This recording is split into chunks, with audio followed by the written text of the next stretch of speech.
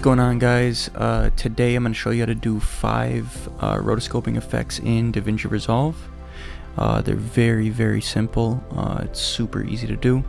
Um, the first one's going to be a glitch effect, second one's a ghosting effect, third one is a scan lines, fourth one is vortex, and the last one is just like this overlapping effect. Um, it's super super easy, um, so just follow along and I'll show you how to do it. Uh, so the first thing you're going to want to do is duplicate your clip and then go to the color tab and go to the magic mask. Uh, you want to drag this marker all the way to the beginning and draw a line on your subject. Uh, then you're going to hit the play button and it's going to track uh, your subject and uh, yeah it'll automatically detect the edges. Uh, you'll want to switch that to better and that's it'll it'll outline your subject very um, very sharply. Um, this works best when you have like no camera movement going on because uh, it doesn't have to like detect the camera movement as well. Uh, and that goes for your subject too. So if you do like a slow-mo clip, it's going to be a lot better than uh, like a sped up clip. So now that you have it tracked, you're going to go over to your color tab and you're going to add alpha output. So right click, add alpha output.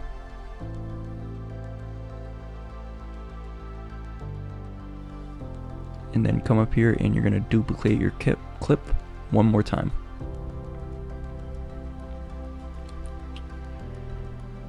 You're then going to go to the effects tab and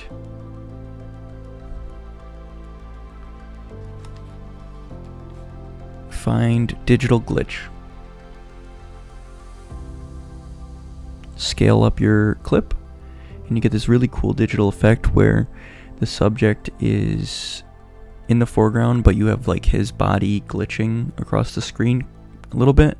Uh, looks cool because it doesn't like take like artifacts from the background it just takes artifacts from him.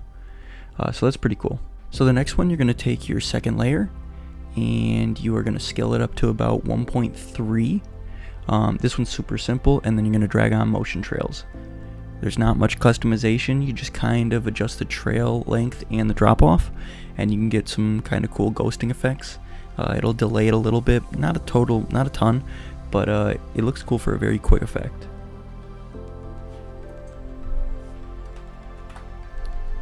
Alright, for this next one, you're going to take your second layer and turn it into a compound clip. And then you are going to go to the effects tab and drag on scan lines. Then you'll uh, scale up your second layer and you'll get this really cool like overlaying effect and then turn down the opacity. Uh, then you can change the composite mode to divide and darken and overlay and screen and you get these really cool like it's also another ghosting effect but it's not delayed with the motion trail it's just kind of scan lined. This next one here is pretty popular. Um, you're going to take your second layer, turn into a compound clip, and you're going to drag on vortex and then you're going to turn the size and angle up and adjust it to your liking. This one's really up to you. You just kind of keyframe it. Um, a lot of people use this one. Um, this is one that you can do in After Effects as well. But uh, this is kind of the same thing but in DaVinci Resolve. Uh, super simple. It's just up to you however you want to customize it.